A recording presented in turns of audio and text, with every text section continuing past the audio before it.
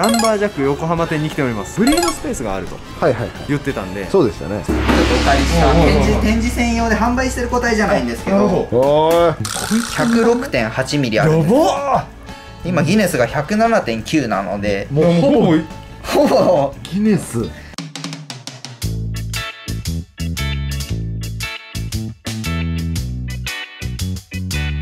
はいどうもこんにちはみおりですいつもお世話になっておりますそして今回のカメラマンが。DIY 担当はチェーンコーナーまでお願いします DIY 岡さんです。平岡。平岡さんか。すいません。今ピンポンパンポンの後に続いたやつ。すいません。DIY 岡じゃないって。ん。完全に行かれました。更新され持ってかましたれてるやん違うよ。すいません何 DIY 岡ああ DIY 今。違う釘釘打ったわけで。釘打ったわけで。ねはい。DIY したのかなと思って。ごめんなさい。DIY じゃないのか。違うよ。そうか平岡さんか。平岡です。えその釘とかうん。打たれて、棚とかにされるのが平岡さん。それ DIY ああれの DIY なの、うん家庭ねそれは。あそうなんですの。ホームセン釘とかターで売ってるのが平岡さん。いや売ってないよ平岡ってそんな簡単に手に入らへんから。あえ平岡さんってどこで売ってるんですか？売ってないねんて平岡非売品。非売品をか？非売品岡じゃない。めちゃくちゃ伝説作ってこうああこんな感じで。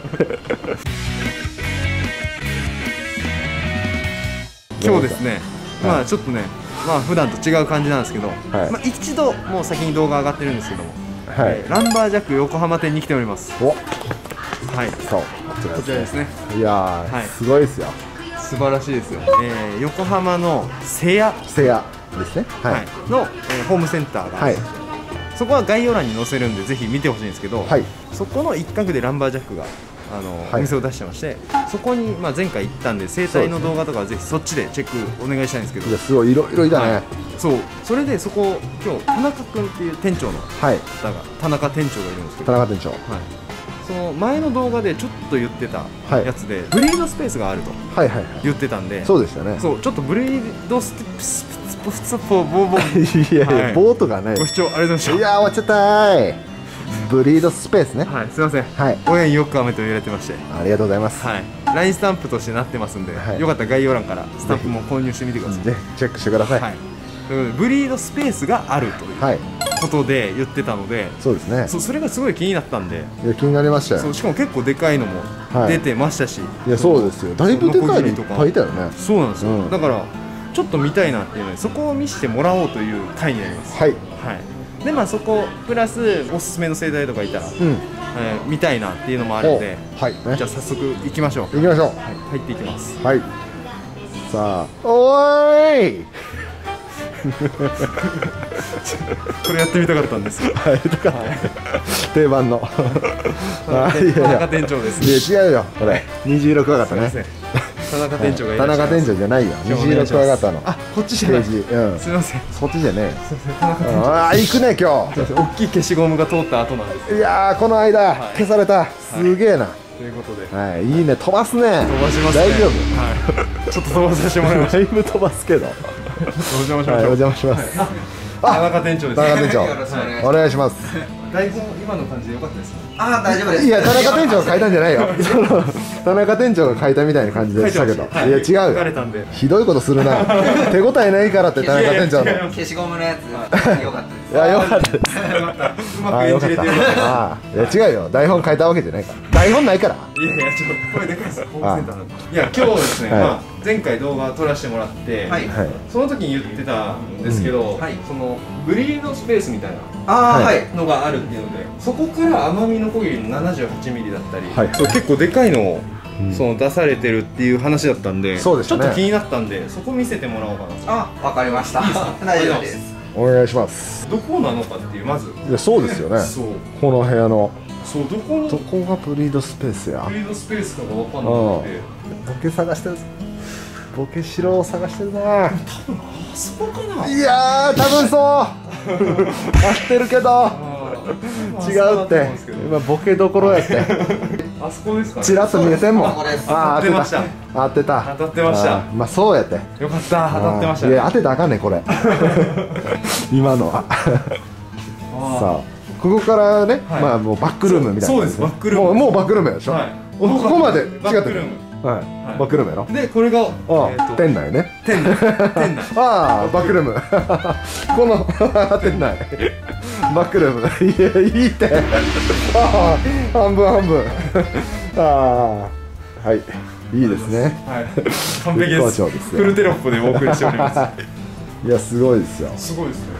こんなスペースででもあの確かに。でっかいのをね。生み出すっていういいですね。そのプロ野球選手うん。がここから生まれたみたいな感覚というか、そのなんあかあすごい選手がね。意外とこうワンルームのはいはい一は部屋で4ずっとね。人暮らしとかしてたみたいなトレーニングをして。そなるほどな。うそうだから、うん。大貞治の和室みたいなね、はいはいはいはい。そういう感じがしていいですね。ちょっとじゃあスペース的にも平岡さん平岡さん先頭で、はいすいません。そうですねなんだろう。うわすごい。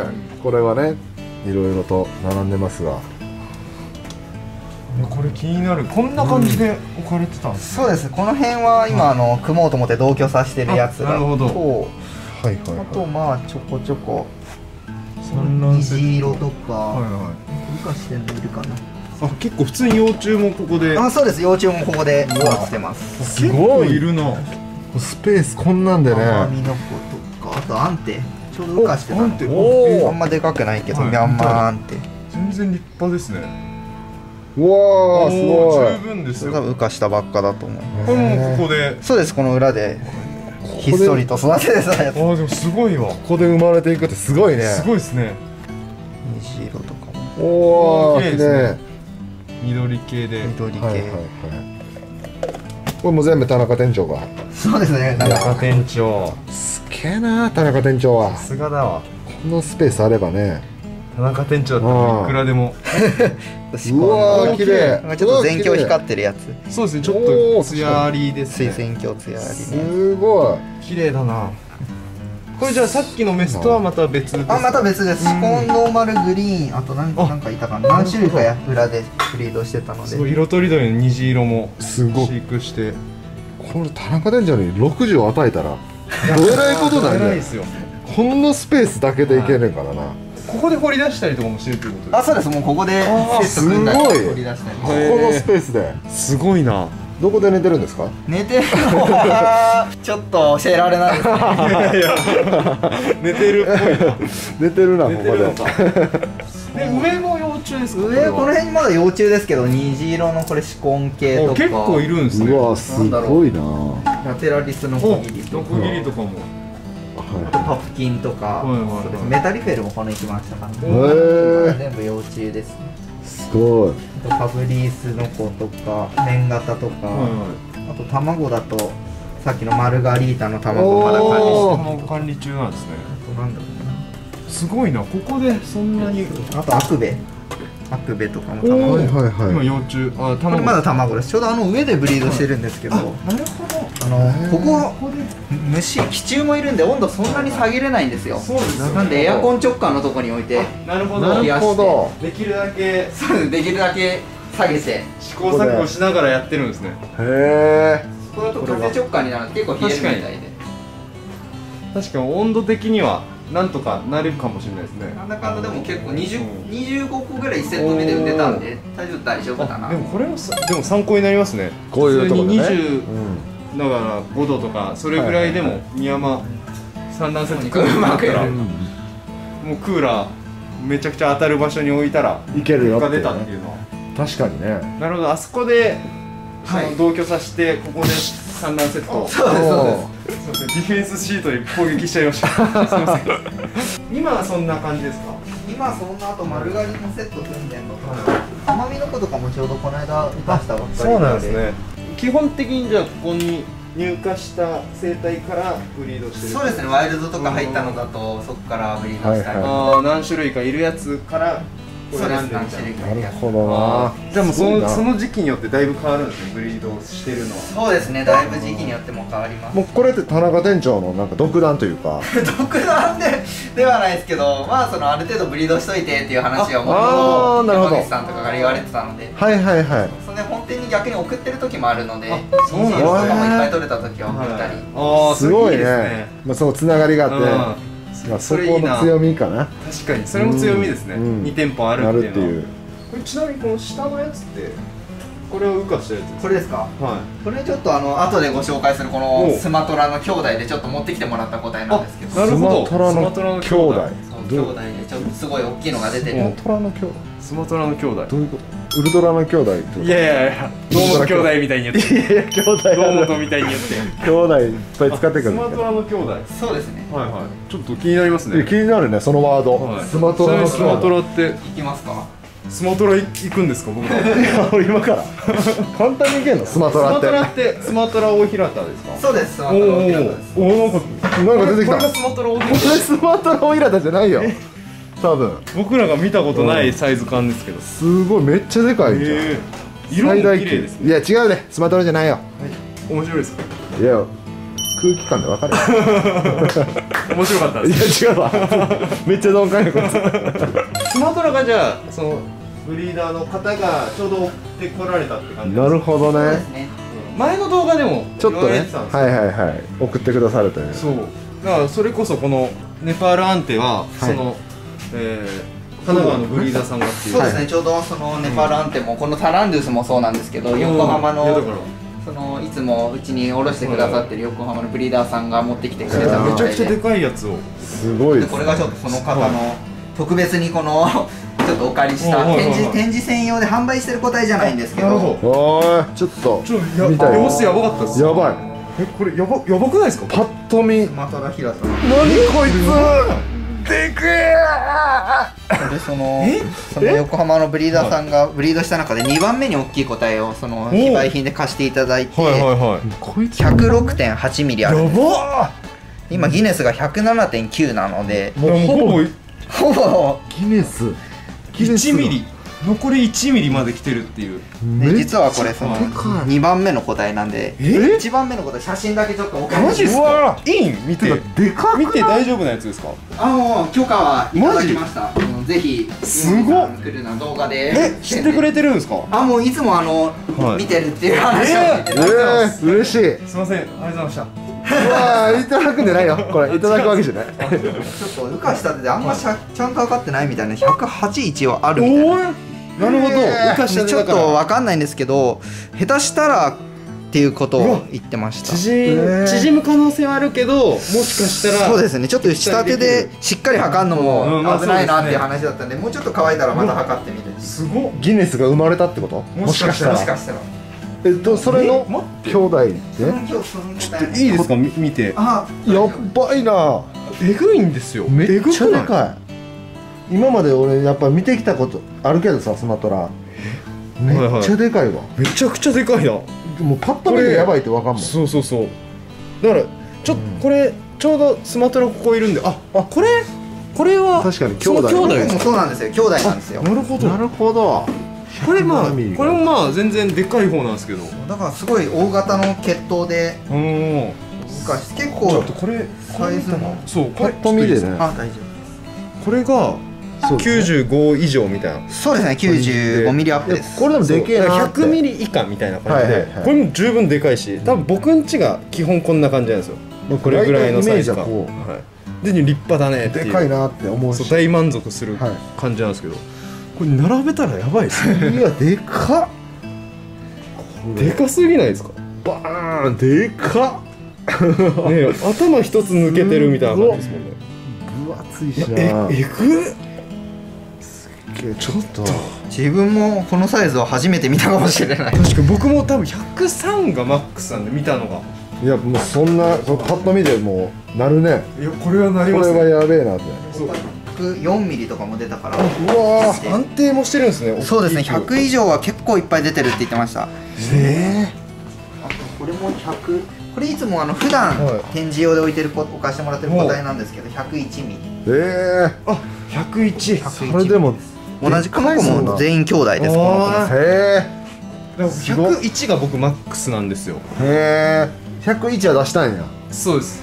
それ101は出してでもそれももう3年ぐらい前で、うん。今年100 100.8ミリはいはい、はい、が出て、その自己記録に足りなかったねみたいうんな話してたけど、もう次元が違いますね。いやこれやっべえな。僕たまに100.8ミリを言い間違えて108ミリって言ってるんですああ、はい。で怒られちゃってんだ、はい。それギネスだろって？いやまあそうですね多分、はい。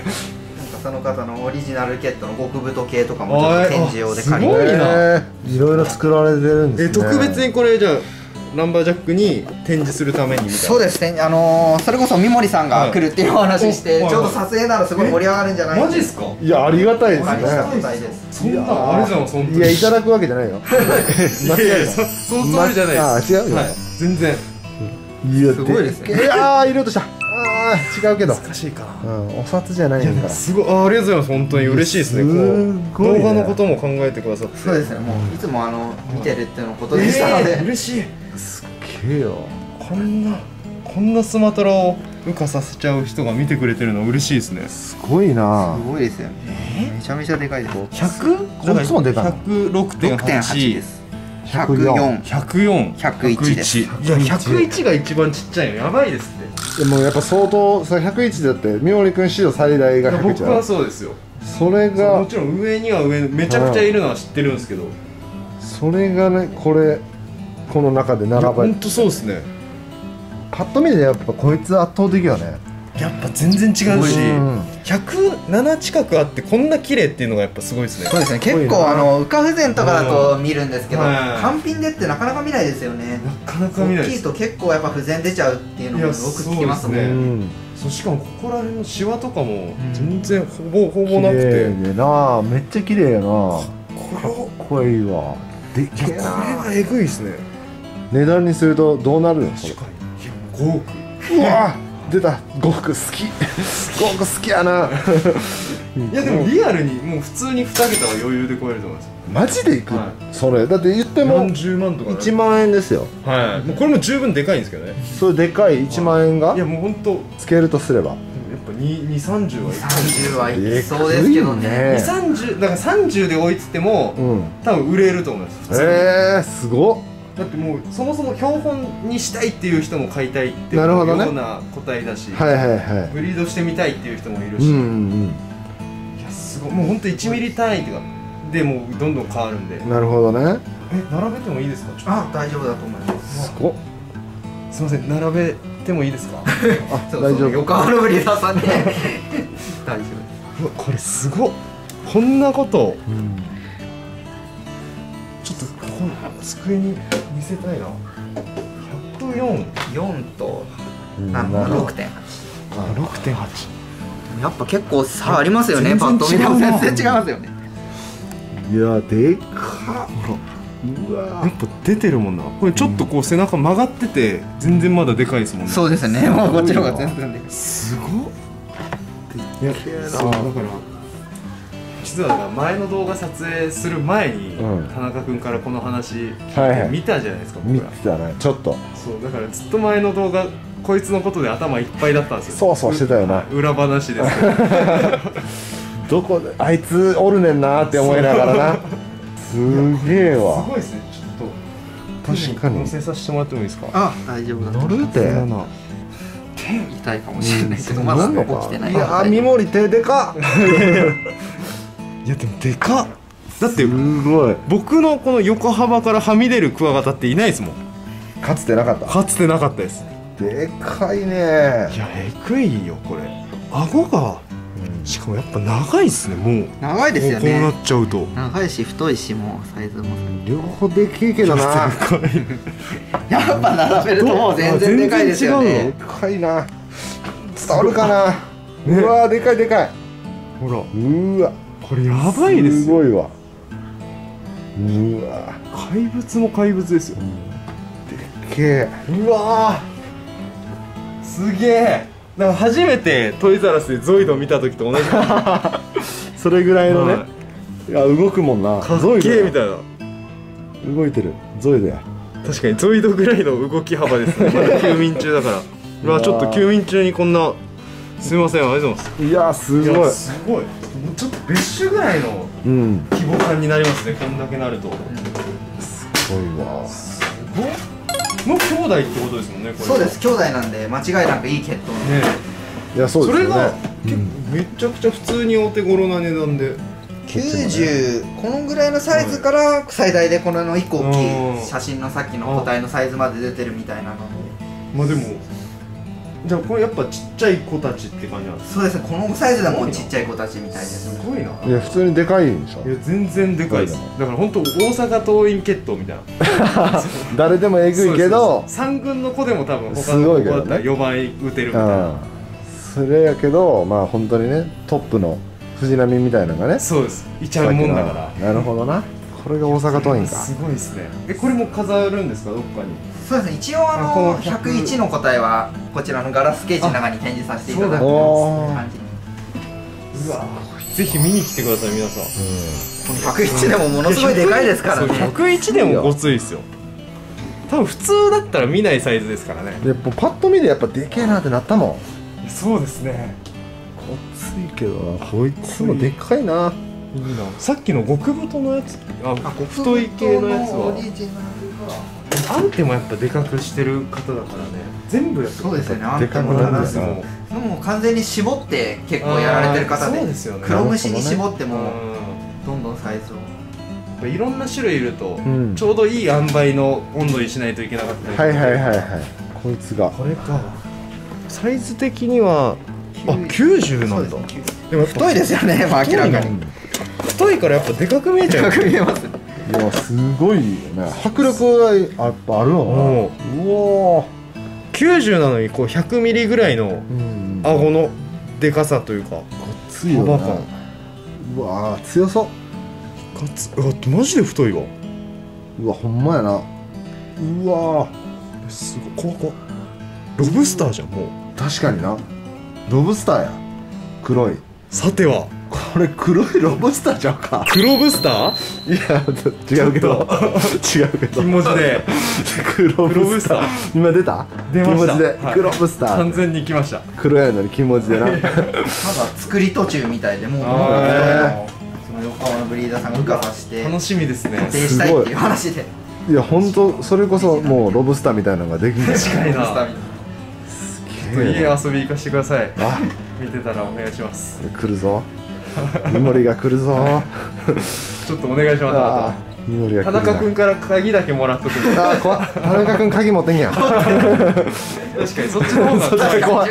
怖い。やいやこれちょっとすごすぎました。いやすごいね。まさかの出会い。そうですね。はちょっとブリードスペースを見させてもらう流れからこうやってはスマトラも見させてもらって。いいやすごいね。いやすごいそのランバージャックはやっぱどっちも見ものですね、いやーうそうですよね。そのうちだからでもこう安定してこういうね提供してくださる方が安定して100超えてきたらこの辺に100が並ぶっていうことも。そうですね。じゃあダメよ。もっとでかい場所にしてもらわないと。そのうち場所変わるかもしれない。ホームセンターのスペースがこっちになって。そう。あと全部ランバージャックっていうスペースに。ここに倉庫とかめっちゃ アルミサッシ置かれて。置いてそっち側ね。ちょっと映せんけど。そうめっちゃ広いスペースめちゃくちゃ広いです。めっちゃ広いです。よホームセンター時代びっくりして、ホームセンターにあんなでっかい倉庫とかは確かにね置いてあってね。それこそスマトラぐらいのサイズの。そうそれこそじゃない。そうおかしくなっちゃうかあまあそうそうでかいでかいらうんでかいというイメージね。うん。いやすごかった。ありがとうございますありがとうございます。いやすごいですね。貴重な時間でした。いや迫力あったね。迫力あった。本当もう脳裏に焼き付きますね。いや本当。初めてジュラシック・パーク見た時と同じ感情やもん。ああうわでけえっていう。確かにな。怖えっていうね。初めて上戸彩見た時と同じ衝撃いや例えマジで。可愛いとかの方や。綺 それはそうですけど衝撃、うん。やっぱきらびやかな感じに見えるまあそうですね。すごくて LINE て交換したいもんな。あそうなの、はい。ブリーダーの方じゃなくて。あいやいやまあまあ もちスろんマトラを平田と、はい。それぐらい。ああそれぐらいね。そうウィルコムあげたいですもん。あ懐かしいビルコム。いや電話するつもりこいつ。多分田中君はもうわからないですそのウィルコムそれこそスマトラを平田よりちょっとちっちゃい携帯があったんです僕ら世代の。ああそう。そうね電話用の携帯。電話用のやつが。何の話やんこれ。いやありがとうございます。ちょっともうちょっと多分動画外で見させてもらうかもしれないですけど、はい。いやぜひまだ全然いますし。そうですねその兄弟がいるんで。兄弟がまだも大きくなる可能性が無限大の。ういやそうですよね。兄弟もいるし、はい。もちろん他にもいろんないや生態もうめちゃくちゃいいのがいっぱいいますから。ぜひ、まあ、定期的にこういう感じでこう提供というかそうですね。飼育品あのブリーダーさんおろしてくれてるのとあとまああの本店にワイルドで入ったのとか送ってもらったりっていうので。はいそうだからもう全然種類豊富なんではい。ぜひあのお時間ある時に遊びに来てみてぜひぜひお願いします。はいまあ、ぜひ概要欄に横浜店のランバージャックのツイッター載せとくんで、はい。そちらを、えーよかったらフォローもお願いします。お願いします、はい、基本あれは田中君が運営あそうですもう全部自分が強いおおなるほど。ごい。なのでぜひそちらもお願いします。お願いします。はい。そんな感じではい。今回の動画は以上です。ご視聴ありがとうございました。質問コーナーです。八幡さんです。お願いしまお願いします今日も見ていただいてありがとうございます。ございます。ここから質問コーナーになりますんでよかったら見てってください。はい。はい。じゃあ八幡さん質問の方お願いします。はい、はい。えー、一つ目。はい。いきます。久しぶりですね。いやそうなんだよね。緊張するんだよな。そう八幡さんに読んでもらうんで。ははい。すいません。いい声でお願いします。いつものいいやどこのブランドの時計いい。声してるんですか？いい声 いい声すぎて内容入ってこなかったです。いやそんなことないだろ。短い分だしどこのブランドの時計？あ時計ありがとうございます。はい。気にしてくれて嬉しいですね。うん。僕は多分もうずっとつけてるんですけど4年5年ぐらいはい。つけてるんですけどあれはベルトが青のうんうんうんラバーで、うんまあ、金色のはい。木のやつですね、はい。は、えーゲスかな？ゲスっていうブランドです。ゲス？はい。ほ原宿にあるラフォーレのゲスで買いました。うおおもうほんと45年前に。はいはいはいは多分雑誌見て、まあ、とりあえず僕はウブロに憧れてるんですよずっと。ウブロっていういうん。高級時計。はいはいはい。ガツめのやつ、うん。それが、まあ、金金色で黒の革ベルトみたいなやつ。はいはいはいはい。なんですけど。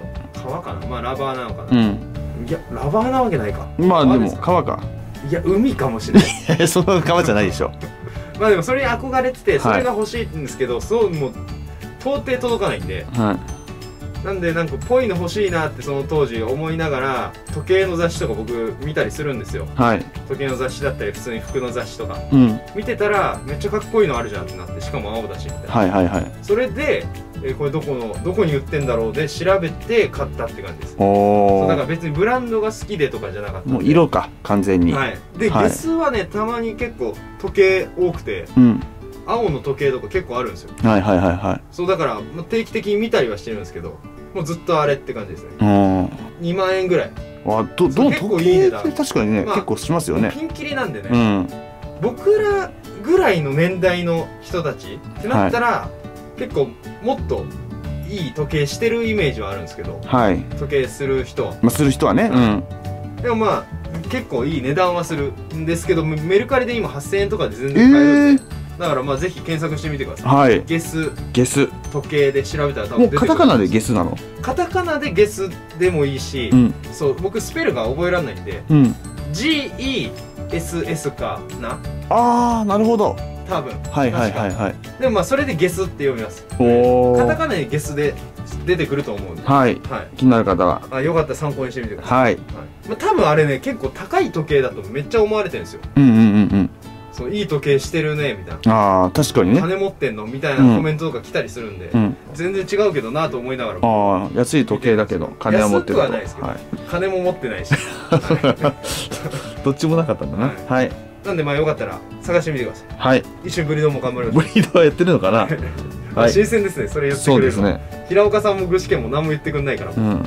はい。2人目。ビートロンさんでフローレスギラファ買ったぜ。13年ぶりにブリードするんだけどペアリングうまくいかないので交尾済みで産みたいから反応しないのかと思い産卵セットに入れたら速攻で産んでました。できれば同時購入したオスと掛け合わせたいのである程度産卵したメスに追いかけしたらうまくいきますかね？ああなるほど。あーどうなんですかね？僕もねこれ結局僕も分かんないまんまなんですけど、うん。一応まあもしそれで追いかけをするんだとしたら一応あのトンボとかも結局先に交尾したオスじゃなくて後に交尾したオスの、えー DNA が組み込まれるみたいな。はいはいはいはい言われてるんですよ、うんそう交尾した時に前に交尾してたトンボのうん。DNA を壊すなんか細胞なのかが出てで自分の精子を送り出すうんうんうんうん。感じらしいんでそれにそれに近いんじゃないかなとは思ってるんですけど、えー。いかんせんやっぱ検証しづらいことなんで、はいはいはい。そうだからどっちのオスと引き継いでくれるのかっていうのは分かんないところにはなるんですけど、うん。でもまあ僕の場合はその場合まあえーメス単で野外品からのメスで産んだ子がまあ有精卵だったら、うん。とりあえずそれプラスその後追いがけをした場合はメス単体で産卵させた後に野外品の何ミリのオスと掛け合わせましたみたいなはい。感じのを、まあ、自分で分かるように記入しとけばまあいいかなとは思います、うんうんうんうん。そうただまあどっち、えー子供になってるかっていうのが正直分かんないんでそうだよね。そう。前検証しようと思ってその動画とか関係なしに、はい赤目のオスと赤目のメスがいうんうんたんで、うんうんそのどっちも赤目だったら生まれてきた時にもう絶対赤なんですよ、うんうんうんうん。なんで、まあ、それとまずメスを交尾させて、はい。その後追いがけうん。で黒目のオスと交尾させてみたんですはいはい。なるほど。そしたら交尾した後は、えー例えば黒目のうん。オスだった場合はもう絶対黒になるんで、うんうんうんうん。赤が先に出ることはないんで、はいだからそれでもし黒目のオスメスが生まれてきた場合は追いがけした時はその追いがけのした子にのん DNA になるっていうことになるんでそれで試してみたんですけどそのその時に、えー赤目と黒目でかけたやつの卵が無精卵であそうそれで結局検証できず終わったんで。ーうわー。そうだからもしそこやったことある人とかいたら教えてほしいですねうんむしろ、うん僕はだから黒目が生まれるんじゃないかと思ってやったんで。うん。だからまあ一応追いがけすればそのオスとの子供になるとは思うけどはい。そこに関しては何とも言えない部分もあるんで。うん。だからもう別に悪くはないと思うんではい。まあ、それは試してみてほしいですね。うん。ただまあせっかくならもう産むんだったらまあ鑑賞用としてオスも交尾しない方がまあ長く生きてくれる率も高いんであの方がまあ個人的にはいいかなとは思いますけどあはい。まあ産卵数減ってきたりするんだったら追いかけしてみ見てもいいと思うんいます、うんうんって感じですね。はい。はい。一緒にブリード頑張りましょう。はい。13年ぶりにブリードしてくれてあすりがとございごいうな。そして最後ですます。はい。はじめまして。はじめましていつも参考にさせてもらいながら楽しませてもらってます。ありがとうございます。嬉しいです。最近ヘラクレス飼い始めてペアリング後に卵を採取しました。おう。卵の管理過去プリンカップでマット飼育のやり方について教えていただけると光栄です。かっこ動画上げてましたらすいません。めちゃくちゃかっこつけるじゃん。え かっこつけるってかっこはついてない。いやそっちの方じゃないよ。あありがとうございます。詳しく教えてくれてありがとうございます。質問、えー一応うんどれだろう。まあ採卵の再生リストでどっかにはあると思うんですけどまあ多分ねほんとランダムなんでそこまで動画にするかしないかは。はい。探すの結構大変だと思うんですけど僕は採卵したやつは基本的にまあ10単位ぐらい。10単位ぐらいで1800ブロー、はい。ヘラクレスの場合は、うん。1800ブローにマットを詰めて、まあ、ある程度湿度を保った土を半分ぐらい詰めてって言ってもふわっと入れてそれをトントンするぐらい、うんうん10個単位で、まあ、穴を開けて割り箸かなんかであ入れていきますね。例えば20個産んだ場合はだからその1800ブローのマット詰めたやつが2つとか。あはい。って感じです。うんうんで、うん。13とかだった場合は卵が1個にまとめるパターンもあります。ねおおって感じかな。はい。そう。ですね。でそっからまあ卵が孵化してすぐ掘り返すんじゃなくて卵を入れてから2ヶ月ぐらい入れてても、まあ、問題ないと思うんで、うん。それぐらいしたらまあ幼虫も安定するんでそこで単体に分けてもいいし、えーなんならあと1ヶ月ぐらい様子見てもいいしとは思いますかね。はい。うん。って感じかな。うん。だからその3ヶ月ぐらいそのブローに入れる場合はその半分しか入れてないから土が足りなくなる可能性があるんで追加で土上から足してあげたりとかしてみてやるって感じですかね僕は。はい。はい。なんでまあよかったら参考にしてみてください、お願いしまはい、すいつも楽しませてる側だという自覚を持ってやっていきますんで一緒にブリード頑張りましょう。はい。以上です。いやありがとうございます。いやありがたい質問が、そうですね。はい、3つも。うん。ありがたいですね。最後最初の質問はね。はい。まいややっぱ嬉しいですね時計あまで確かに。そう三森君に興味あるみたいなことだもんね。はい。そうですよ。僕他二人はね。認識してくれてるのは嬉しいです、他二人はもう虫夢中だけど。いやいやそんなことないです。僕ですよ。ヘラクレス。僕の卵を産むし。いやいや違うだろ。性別も変わってくるでしょはい。やもうでも嬉しいですね。13年ぶり久しぶりにブリードを見うん。たきっかけで再会してくれたり、はい。ビートロンさんにこう足を運んでくれてるのも嬉しいですね。そうですね。お世話になってる場所にっていうの、なんでまあ引き続き、えーコメントから質問の方もお待ちしてますしその動画のコメント自体も、まあ、僕は楽しみにしてますので、はい。えーよかったら YouTube のコメントをしてもらえると嬉しいですね。嬉しいです。はい。そんな感じで今回の動画も長々とご視聴いただきありがとうございました